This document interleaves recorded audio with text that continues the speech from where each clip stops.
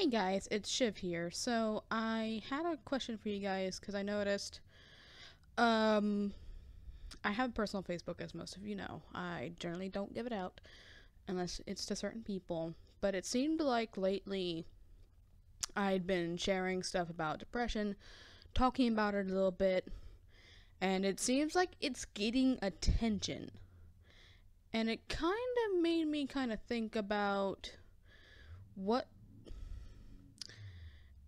because here's the thing depression, anxiety, borderline personality disorder, post traumatic stress disorder, they're not really in the media a lot. Not many people like to talk about it. Not many people see people suffer it because it's all internal. And I noticed there weren't a lot of people really showing it day to day of how it could be.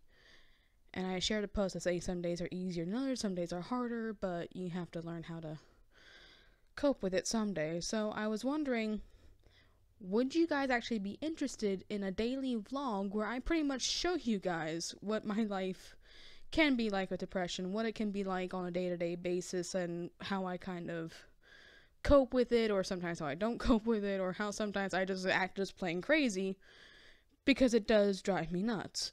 Um, if I feel like that'd be something you guys interested, I would have to warn you about a couple things. It's not always going to be pretty. It's not always going to be happy there's going to be crying, and there's probably going to be me talking about things that are going to make most people uncomfortable.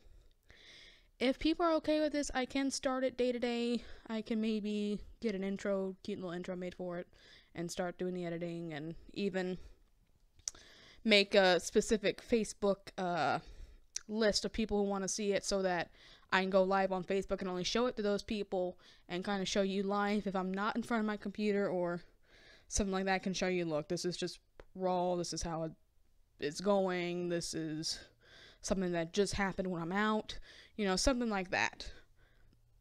I can also do some footage on my phone if i'm out and about and kind of show you what it's like if i can't go live right then and there.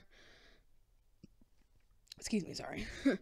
I thought it'd be something interesting and something cool to show you guys and something that normal people don't actually do because a lot of people want to keep behind closed doors, but I feel like if maybe if I showed my struggle and showed how I deal with it, that it could help someone else.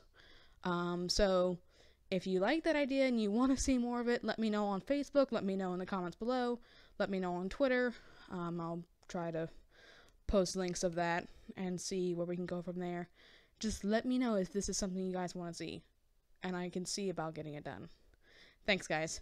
Bye.